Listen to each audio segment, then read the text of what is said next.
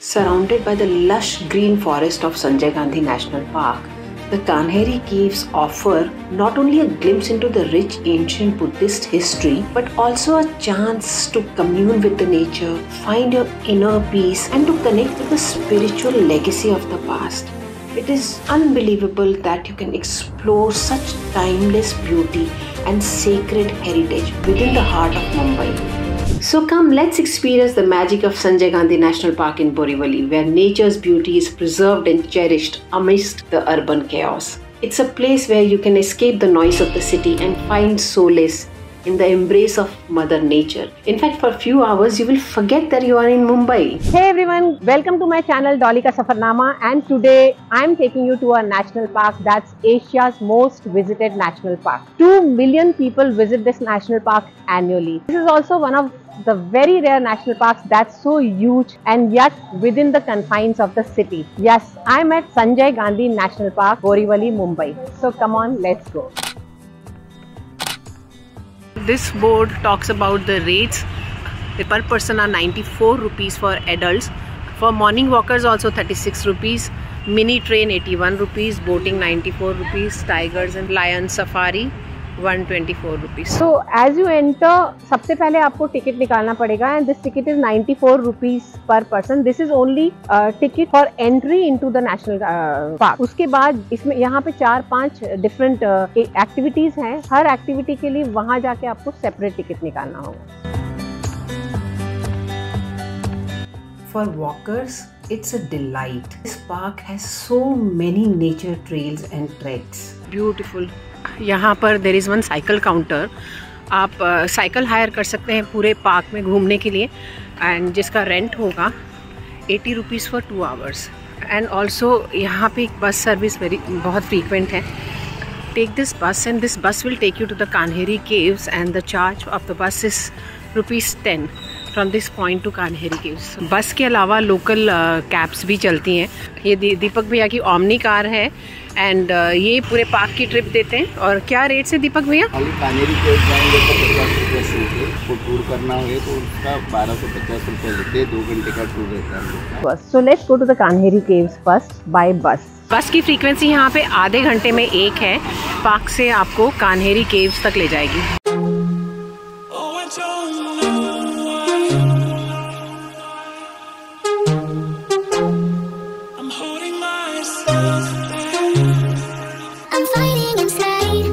लड़ रहे छोटे से बेबी के बाल खींच रहा है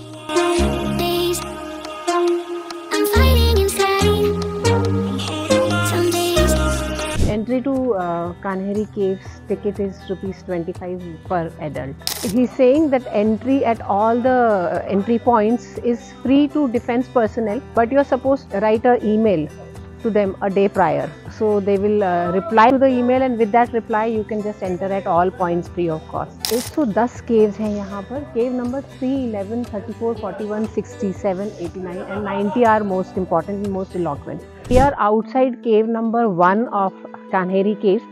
ये बुद्धिस्ट मॉन्क्स uh, ने लर्निंग एंड पिलग्रिमेज के लिए बनाई थी। सो so, यहाँ पे 109 केव्स हैं और ओरिजिनल नाम इन केव्स का था Krishna Giri Krishna means lord Krishna and Giri means mountain and later the name got change to Kanheri caves यहाँ पे जो केव्स हैं ये दो स्ट्रक्चर्स में हैं बेसिकली चैत्या एंड विहारा। जो चैत्या है वो उनके प्रेयर हॉल्स हैं मेडिटेशन हॉल्स वगैरह। और जो विहाराज है वो मॉन्ग्स के रहने की जगह होती थी। So now we are outside cave number one which is a chaitya.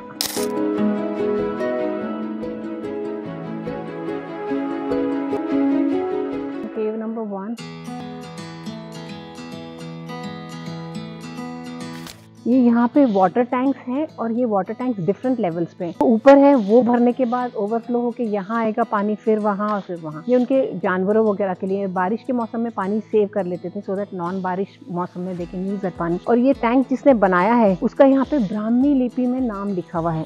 तो जो बुद्धिस्ट टाइम पे जो लिपि होती थी, उसको ब्राह्मी लिपि बोलते थे। तो ब्राह्मी लिपि में का नाम लिखा हुआ है डोनर का। यहाँ की केव नंबर थ्री सबसे ज़्यादा पॉपुलर केव है। कम वक्त हो तो सिर्फ़ केव नंबर थ्री देखी जा सकती है। बुद्धिस्ट धर्म में दो कैटेगरीज थे हिनयान और महायान। हीनयान जो है वो बुद्धिस्ट स्तूपास की वर्शिप करते हैं और महायान जो है बुद्धिस्ट मूर्तियों की वर्शिप करते हैं। थ्री में मूर्तिज एंड स्तूपास दोनों देखे जा सकते हैं। सो so, आप बोल सकते हैं कि यहाँ पे हीनयान एंड महायान दोनों टाइप के बुद्धिस्ट वर्शिपर्स रहे होंगे क्योंकि स्तूपास भी बनाए गए हैं मूर्तिज भी बनाई गई हैं। Come on let's go check it out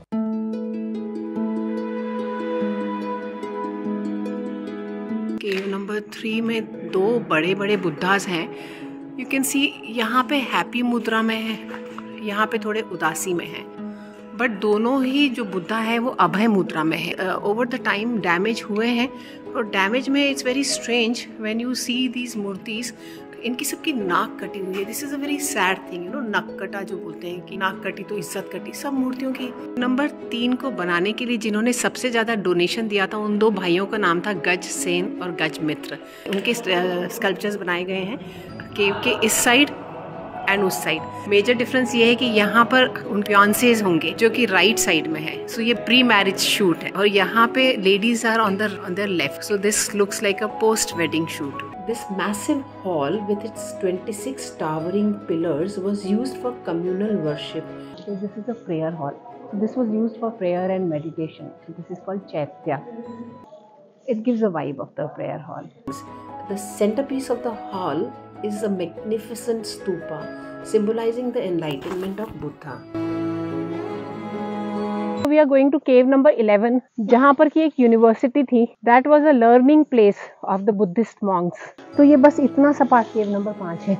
यहाँ पे एक वाटर चैनल सा बना हुआ है and fuse culture this is cave number five this is a way to cave number six to eleven इनमें से कुछ है जो uh, सिर्फ़ विहाराज हैं जो सिर्फ़ रहने के लिए यूज़ की जाती थी केव नंबर छः है.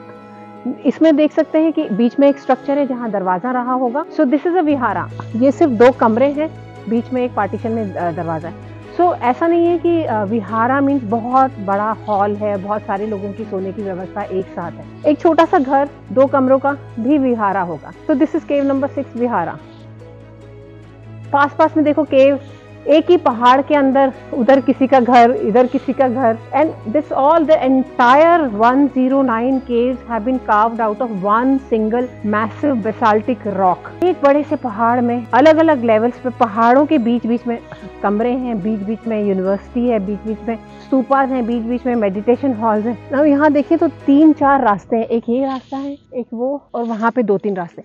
Now we are going to another famous one which is cave number eleven which is a chaitya chaitya means चेतना के लिए प्रेयर के लिए मेडिटेशन के लिए जो यूज़ की जाती थी। This is cave number eleven ये बहुत ही ज़्यादा तो जो विजुअलाइजेशन यहाँ पे बहुत एक्टिव हो जाता है आपका। ऐसा लगता है टाइम मशीन से आप पास में चले गए। इसमें जो बुद्धा है, वो धर्म चक्र परिवर्तन मुद्रा में बैठे हैं और परलम्ब आसन में वो बैठे हैं, जो कि एक टीचिंग वाली मुद्रा होती है। और ये जो उनके पास में है, वो स्टूडेंट्स के हॉल्स हैं, उनके स्टे के रूम्स है क्लासरूम्स हैं। एक साइड गर्ल्स के क्लासरूम्स एक साइड बॉयज़ के क्लासरूम और ये इनका डाइनिंग हॉल है डाइनिंग हॉल में एक तरफ़ शिष्य बैठता था तो एक तरफ़ गुरु बैठता था और लगातार मंत्रों का उच्चारण के साथ में यहाँ पर डाइनिंग होती है This cave served as a prominent center of learning. The cave contains inscriptions indicating the presence of a monastic university where religious texts were studied and the knowledge was imparted. Super. This cave number 11 was too good. This is that university area, जो learning area था उस वक्त में. This is really impressive and amidst this beauty of uh, Sanjay Gandhi National Park, this huge setup is mind blowing. As you traverse through these pathways, going from one cave to the other, and marvel at the ancient Buddhist monasteries, please do take a moment to appreciate the centuries of history that lie within these caves. Do try and visualize how life must have been in that era.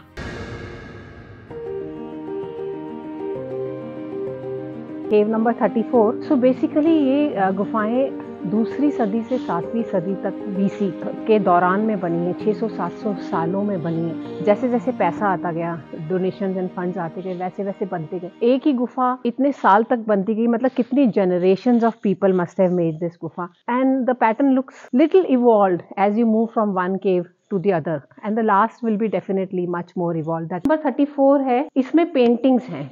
109 गुफाओं में यहाँ पर कहीं भी painting नहीं सिर्फ़ केव number 34 में ये पेंटिंग दिखती है वॉल पे। So this stands apart from other caves visualize staying in mountain वो पहाड़ के उस तरफ़ के विहाराज देखो। 39, 40, 41. Now we are going to cave number 41. इसमें एक अवलोतोकेश्वरा जिन्होंने बौद्धिसत्व लिया था, उनकी 11 हेडेड मूर्ति है। एक के ऊपर एक 11 सर हैं उनके, और बीच में बुद्धा की मूर्ति है।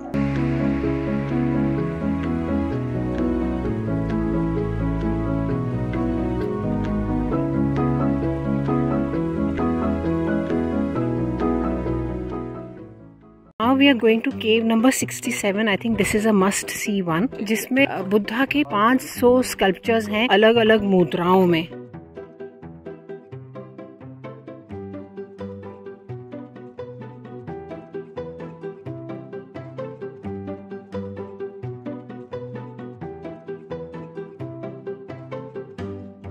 Kanheri caves are definitely a hidden gem waiting to be explored They will undoubtedly leave you with a lasting memory and a deeper appreciation for this remarkable heritage site.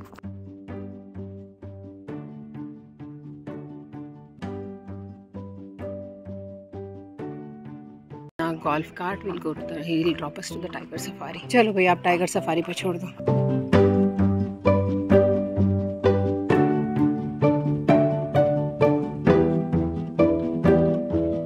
दो this cat orientation center. This is also made into a kind of gufa.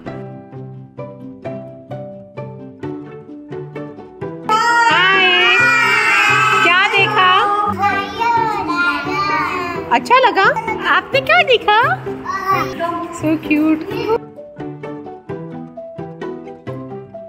now we come to natural history museum this is the museum जहाँ पे जानवर असली skin में दिखाए गए हैं और यहाँ फोटोग्राफी अलाउड नहीं है so now we have come for tiger safari prices are adult 124 and children 50 rupees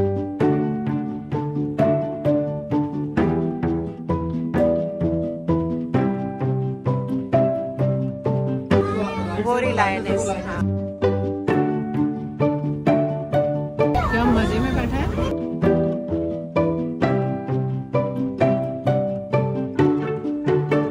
सभी एनिमल खुले हैं ना पैंतीस एकड़ में लाल रहेंगे पचास एकड़ में tiger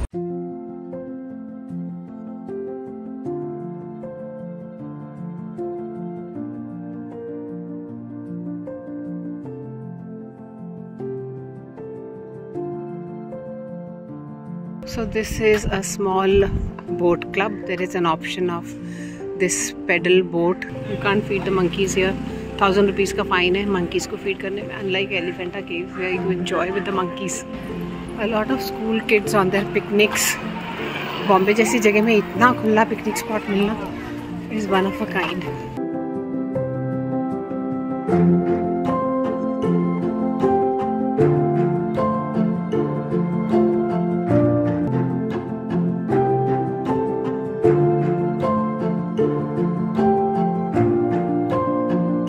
that's all from Sanjay Gandhi National Park. From my side, this was a beautiful day spent in the nature. While the tiger uh, and lion safari was good, the cat orientation center was good, the museums were good, the butterflies were good, the boat ride was good. But what really, really stole my heart was the Kanheri caves. Kanheri caves are mind-blowing piece of history and that should be the sole reason to come to this park. This was really, really amazing. Stay tuned for more such uh, attractions in and around Mumbai. Bye-bye.